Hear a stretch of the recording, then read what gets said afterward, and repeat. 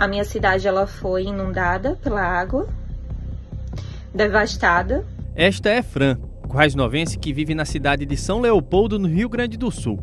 Ela foi diretamente afetada pelas enchentes que atingiram o estado gaúcho na última semana e teve que deixar sua casa para evitar o pior. Do sábado para o domingo, o meu bairro ele foi inundado, essa água subiu muito rápido e nós ficamos ilhados, sem acesso à energia, sem acesso à internet, sem acesso à água. No domingo à tarde, nós conseguimos sinal e conseguimos contato com a nossa família e eles conseguiram mandar resgatar nós. E nós viemos para o interior do estado, para um local seguro. Muitas pessoas ainda continuam lá nos seus apartamentos, sem acesso a tudo isso que eu falei. Muitas pessoas, muitas e muitas pessoas perderam tudo. Bairros devastados. Pessoas perderam suas casas e perderam tudo que tinha dentro. Então, eu peço por favor que vocês orem por esse estado, por essas pessoas. Fran é apenas uma das dezenas de seridoenses que fazem parte das vítimas dessa tragédia.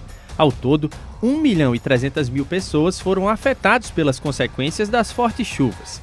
Outra currais-novense atingida foi Luzinete. Ela fez um apelo nas redes sociais após perder tudo que tinha com as fortes chuvas. Estou refugiada aqui na, no litoral do Rio Grande do Sul.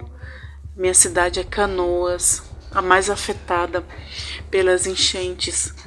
E estou aqui com esse montante de coisas de doação que a gente ganhou, né? Esse povo tão maravilhoso, tão solidário. Estou aqui acomodando as coisas que a gente ganhou. Né? Ganhamos muita coisa, cobertores, né? roupas, calçados.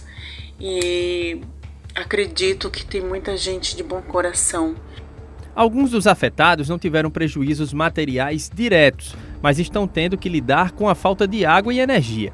É o caso do empresário currais-novense André Pires, que relatou como estão sendo os últimos dias no sul do país. Está chegando muita ajuda, a gente ajuda da forma que dá também aqui próximo. Eles pedem alguns materiais essenciais que tem que ser de imediato, muita gente levando comida, então é... se Deus quiser o pessoal vai conseguir sair dessa aqui, essa região que não está fácil para muita gente que perdeu tudo, né? Perdeu casas, perdeu familiares, que é o mais importante, claro, a vida. Agora estão, continuam salvando muitas vidas ainda que estão ilhadas. Dulce é catarinense, mas mora em Acari há mais de 40 anos. Ela está em viagem justamente nesse período na cidade de São Leopoldo, uma das mais afetadas pelas enchentes. Apesar de estar numa área mais alta da cidade, ela não está tendo acesso à água potável e falou sobre a situação de sofrimento que viu outras famílias passarem nesse momento. Então a gente tem visto assim muitas histórias tristes? Mas que nós aqui estamos sendo privilegiados né? É, com a situação porque estamos numa área mais alta. Supermercados, como eu já disse, né? estão bem desabastecidos, é, postos de gasolina também.